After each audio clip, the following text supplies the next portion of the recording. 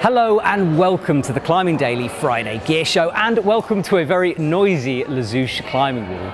They very kindly lent us a bit of their space because Chamonix crags are currently under a lot of snow. We're here today to look at the Singing Rock Rama assisted belay device. This is designed for single pitch indoor or outdoor climbing and today we're going to put it to the test.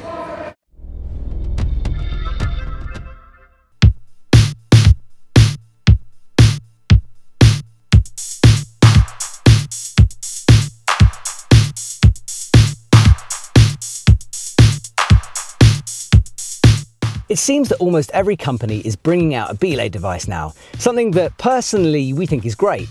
Brands are pushing themselves to compete with others, and as a result, climbers get more choice and generally a better price.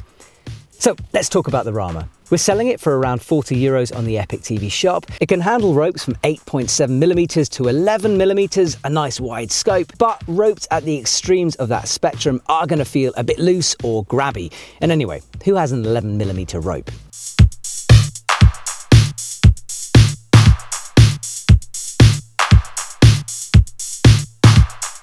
It weighs 84 grams and is made from light alloy, plastic and stainless steel on the sections that might wear out. It's nicely designed, feels unobtrusive and nestles into the hand.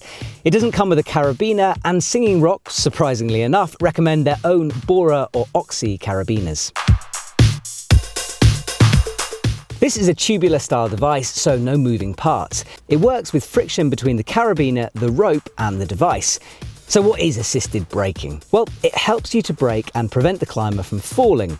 The difference between this and something like a normal ATC is that if there was an accident or a loss of concentration and the climber falls while the belayer isn't holding the dead rope, then the climber is going to hit the ground. With an assisted braking device, there's an extra level of safety built into it. Assisted belay devices sort of lock up when the climber falls or weights the rope.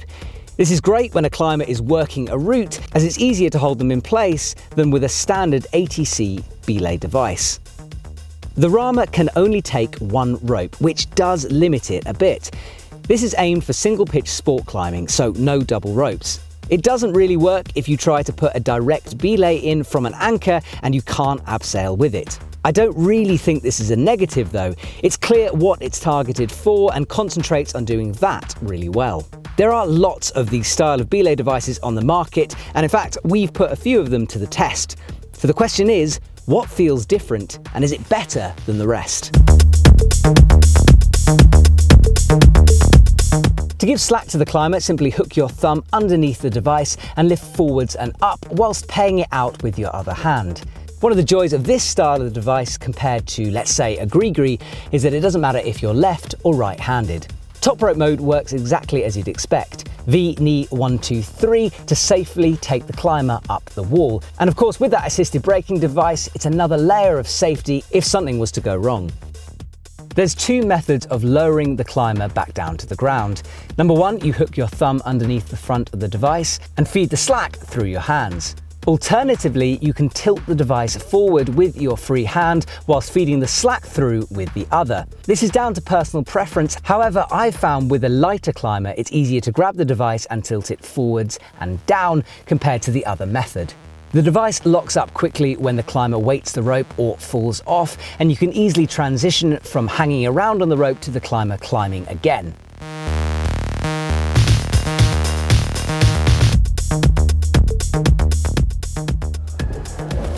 Ciao. Right, that's the end of our session at Les Houches and it is super noisy in that climbing wall. So we thought we'd retreat to my car so I can tell you guys what I think of the Rama belay device. Ah, much better in here. So what do I think of the Rama? Well, I reckon you're the kind of person who's either going to love a tubular assisted belay device or you're not because it is a slightly strange action. Having that thumb pushed forward and up can feel a little bit alien to some people, but it is something that very quickly you get used to. I like how the Rama feels in your hand. It's nicely designed, the curves are lovely and it's very smooth. And that plastic, it's, it's strangely almost warm on your fingers and it's ergonomically designed so you can hold it and you can belay for a long time without it getting uncomfortable. The giving slack action feels great, lowering is good, and what I especially like about the Rama is that it encourages good belaying. If you have the rope set up properly, if you're feeding slack at the correct time and not short roping your climber, if you're lowering properly with the proper technique, it really helps you to do that. However, if you start kind of moving into bad habits, then the Rama will punish you. It will feel a little bit grabby or a little bit odd when it lowers. And I like a device that makes you a better belayer. I think that's a real plus. I think the Rama is a very good beginner belay device, and that's because of how safe it is.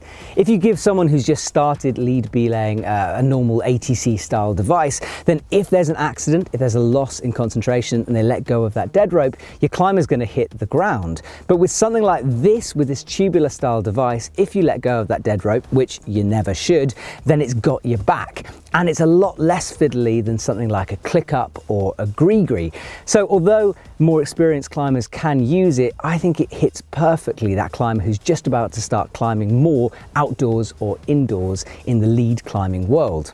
Of course, it's got its limitations. You can't really abseil on it, you can't use double ropes, you can't direct belay with this device. And therefore, if you're a sport climber who's indoors or outdoors, then you're gonna love it. But if you do more mountaineering or trad climbing, then you're gonna find this device quite limiting but then you should be looking at other things anyway, like the DMM pivot, something like that that's more set up to those styles of climbing. So we've only used this a little bit today and we will be testing it out more in the future. So do let me know what you think in the comments below. For me, I like this little thing. It's cool. I don't really want to give it back and that's always a sign of a good device. So thanks for watching. Have an amazing weekend and I'll see you soon. All right, let's get out of here.